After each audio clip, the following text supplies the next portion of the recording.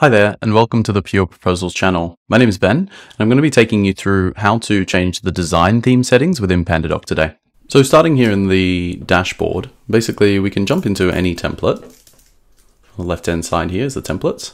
I'm just going to jump into this particular base template. You can see this is one of PandaDoc's sort of pre-existing templates and it has already applied the text and headings, whatnot. So to change the design settings on the right hand side here, you have the option to select design.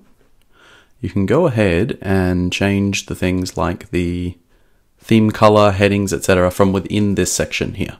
So to show you how this works, basically jump into heading, and we'll jump into a different font. And you can see that that font populates throughout the, the document in the various sections.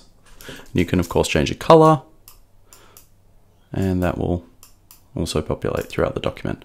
So this is particularly useful if you have a bunch of different documents that you'd like to change all at once. You can use this theme on other documents and templates. And there are a number of options in here that can be quite useful. Things like amending the pricing table section so that when you pull in a pricing table, it has the same look and feel across all of your documents. You can do the same thing with tables as well. So making them very sort of standardized by amending the settings within the design template will then populate across all of the ones you create.